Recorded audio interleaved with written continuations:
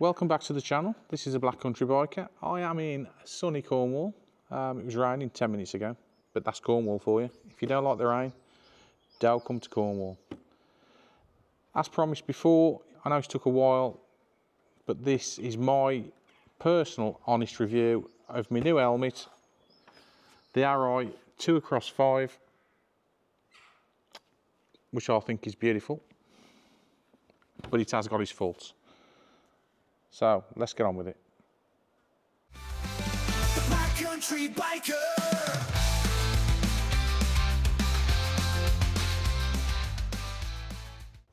It's replaced the Tour X4, which was uh, a cracking helmet. I had one myself. Um, I had the um, Vision Grey version, and um, there's been a 12 year gap between that one and this one, and the changes are uh, immense, to be honest. The other helmet was really good.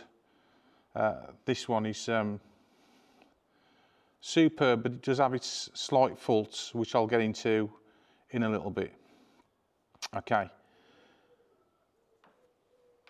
It is regulated by the uh, ECE uh, 2206 and uh, it complies with all the new rules which they keep coming up with all the time, changing things, moving the goalposts more or less every year now. And um, over here it's called the 2 across 5 or the TX5. In the States, I think in North America, it's the um, XD5. I might be wrong, I think it's the XD5. It's the same helmet. Um, this one compared to the other one, the X4 was more pointed at the peak. The whole helmet was more pointed. The visor, this is more rounded. Um, this takes its uh, inspiration from the uh, RX-7 crash helmet, uh, helmet. Um, it's got the Quantic vent on the top here. Um, under the peak, you can see where the Arai is. Okay, this one is the um, R75, which is the diameter of the curve of the helmet. This one's more rounded. Arai have made it this way.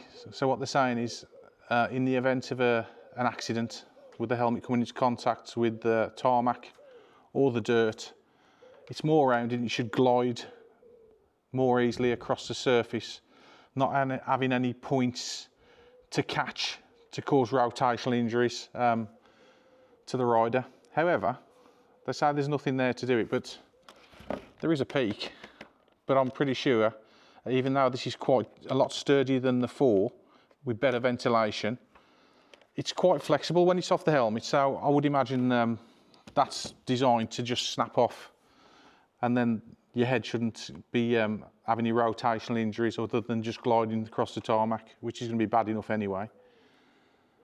Um, this one is um, cosmic yellow, or yellow, as we say in the black country, cosmic yellow. I think it's just starting to rain. And um, the, the, um, the basic plain helmets, they are very expensive, these things, but you get what you pay for, I suppose, a 599 quid. Anything with colour on, including this one, 699 quid. So it's a lot of, uh, it's a lot of spondoolies, this crash helmet is. But I think it's worth it for what you get.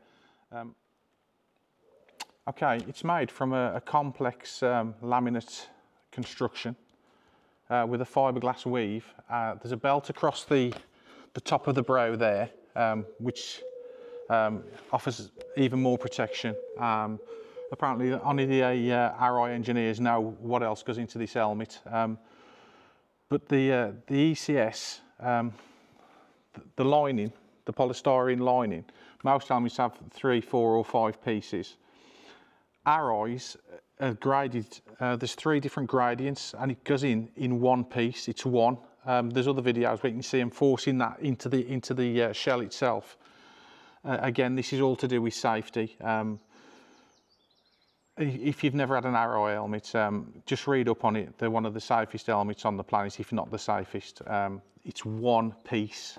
So again, if you do it the road, it's not liable to split or separate because of that one piece. But so there's three different gradients all around the helmet for different parts of protection to the head. they don't compromise on safety. So there's no drop-down visor inside any sun visor, um, which it'd be nice if they did what uh, Klim with the uh, Krios Pro um, have done. They've got a transitional visor, um, no drop-down one in that either. That helmet is lighter, but I think this one scores higher. If you look on different, there's I think if you look on champion helmets, um, not that I'm paid, I'm not paid by them or anything, I'm not paid by anybody. This is all just my own work. I earn now money from YouTube. This is just me giving you my honest opinion of this helmet. There's three shell sizes, but there's five different sizes. Um, it comes with, so there's extra small, small, medium, large, extra large. Um, the cheek pads um, come with five millimeter liners, which you can take out if it's too tight on you. Um, I normally have a medium. I'm, I'm, on the I'm on the edge of medium to large. I've had to have a large in this, but I say it's it's so comfortable. It's unbelievable. Um, the pin lock with this one is called an XLT um, 120. Um, from what I understand, the XLT means extra light. They're saying it offers 2% more light coming in through the visor. The, the, they say the colours are more natural, more vivid, um, naturally than what you get with the old um, Tour X4 helmet. Um, the old Tour X4, because the peak was more angled, and sorry, the peak, the visor was more angled. It was hard to get the pin lock in and you used to get gaps. This one is just it's absolutely perfect. Um, ventilation on the helmet. You've got you've got the one on the front there, the Arai off the Quantic. Apparently to pull that, that is now open, but when you pull that up, believe it or not, that's closed now, that one is. So you've got air coming in through there. You've got three settings on that, closed, half open, fully open. And at the back here, you've got, if I can find it, there's three exhaust vents in, inside there and you've got three settings on that as well. Closed, half open, fully open.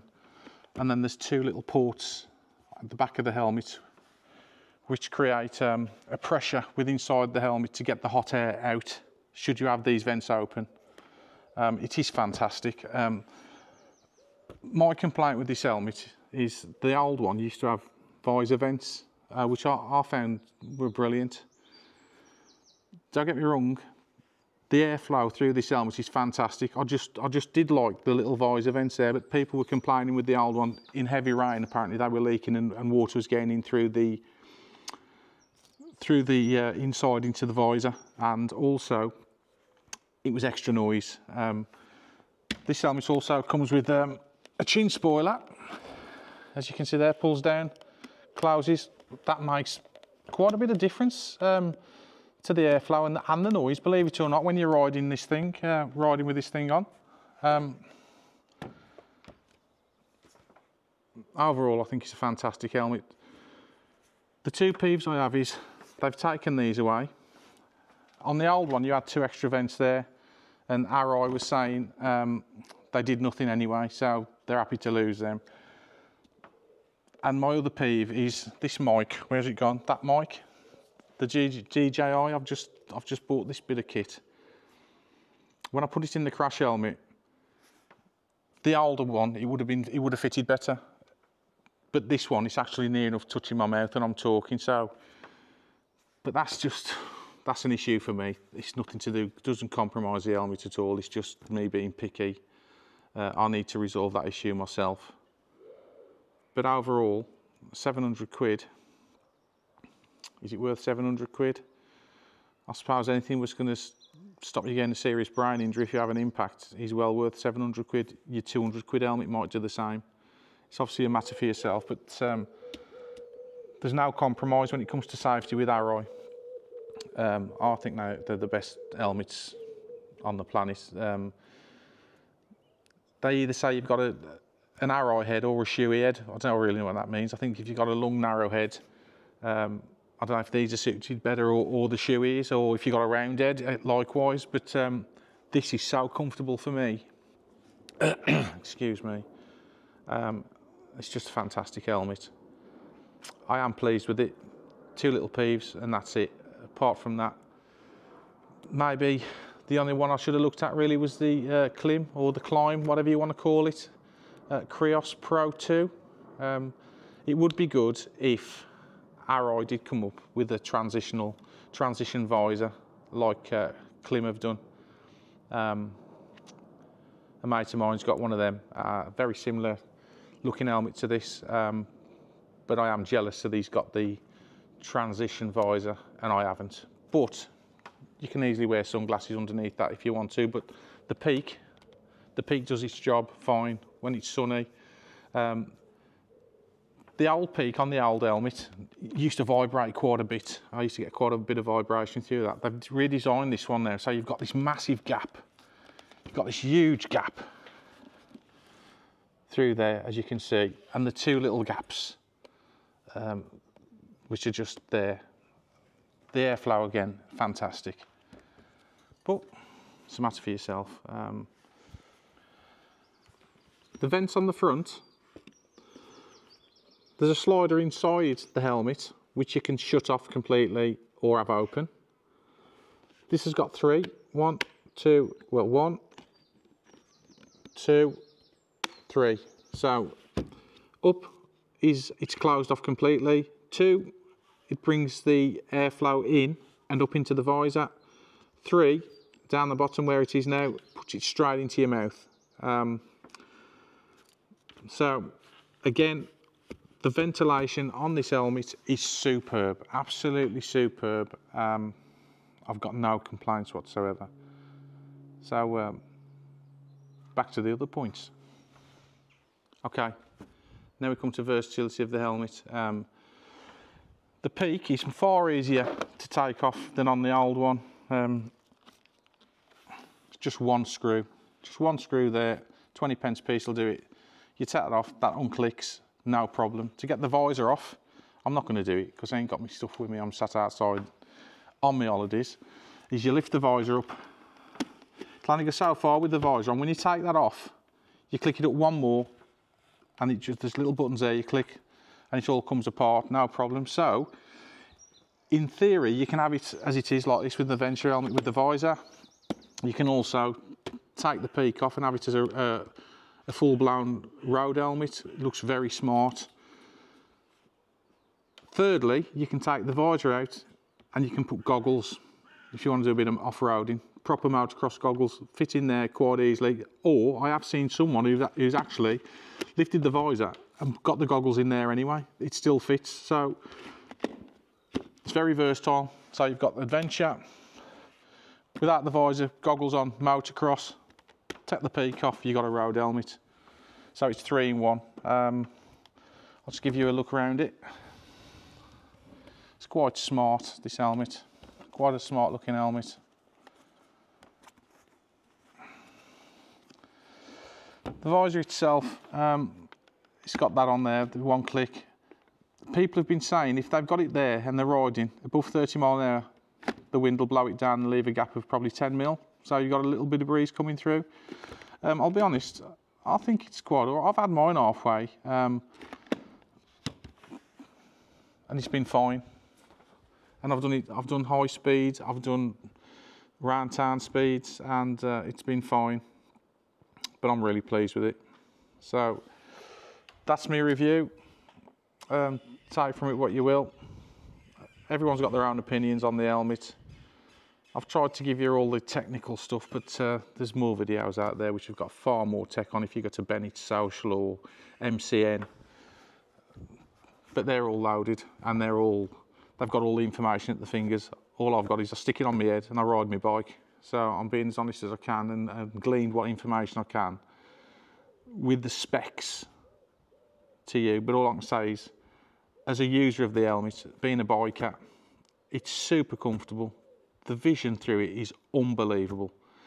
Um, it, it is on the heavier side, uh, 1700, I think they come in on the medium. Um, I know the, the Klim Krios is lighter and that's got its benefits to this one, but this one overall, like I say, if you look on Champion helmets or somewhere like that where they compare decibel sound and all, everything, this comes out num- number one. Uh, Klim Krios comes out number two. Each to their own. But anyway, I'll um, I'll let you get on. Thanks for watching, and uh, I hope you enjoyed the video. If you did, if you'd please um, give me a thumbs up and a like, kick the bell icon so you know uh, next time I do a video. And if you would please, please, please um, subscribe. I ain't got many subscribers. I'm only a small channel. I'm all on my own. I do it all off my own bat, my own money. Um, a little bit of support uh, is much appreciated, and thank you to all my subscribers I've got already. It means the world. Thanks again. See you on the next one. Black Country Biker.